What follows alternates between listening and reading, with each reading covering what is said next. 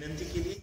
त्याचप्रमाणे त्यांनी त्यांच्यातर्फे असंही सांगण्यात आलं की आरोपींचं तरुण वय आहे महिलाच गुन्हा आहे त्यांचं लग्न झालंय त्यांच्या घरी आई वडील आहे अशा रीतीने त्यांनी विनंतीची न्यायालयाकडे याचना केली आज आरोपी दोन तर्फे युक्तिवाद केला जाईल की कमीत कमी त्यांना शिक्षा का? या संदर्भात ते कारण न्यायालय स्पष्ट करतील.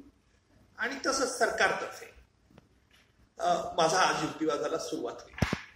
अर्थात सरकारतर्फे युक्तिवाद करताना मला आरोपीचा पक्ष आणि फिर्यादीचा पक्ष याचा साकल्याने विचार करावा लागतो. सरकारी वकील हा तसा स्वतंत्र असतो इंडिपेंडेंट असतो आणि त्याला निपक्षपातीपणे. दोन्ही पक्षांचा विचार करून न्यायालयाला मदत करायची असते की आरोपींना योग्य शासन कुठलं? आणि याकरता आपल्याला सुप्रीम कोर्टाने जे काही Bachchan Singh versus Machhi Singh Bachchan Singh state of Punjab आणि Machhi Singh versus state of Punjab या खटल्यांची मार्गदर्शक तत्व घालून दिलेली आहे. त्याचं पालन करून न्यायालयापुढे मला तक्ता सादर करावा लागेल की आरोपींच्या दुष्कृत्याचं पारडं जड आहे का आरोपींनी जी विनंतीची याचना केलेली त्याचं पारडं जड आहे? आणि जे पारडं जड असेल त्या प्रमाणात मला न्यायालयात शिक्षा मागावी लागेल.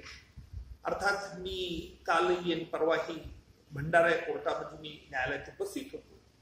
मी आताच पहाटे एक वाजता इथे नगरला आलोय. मी अधिकाऱ्यांची चर्चा करू या संदर्भात तक्ता बनवायचं माझं काम सुरू आहे.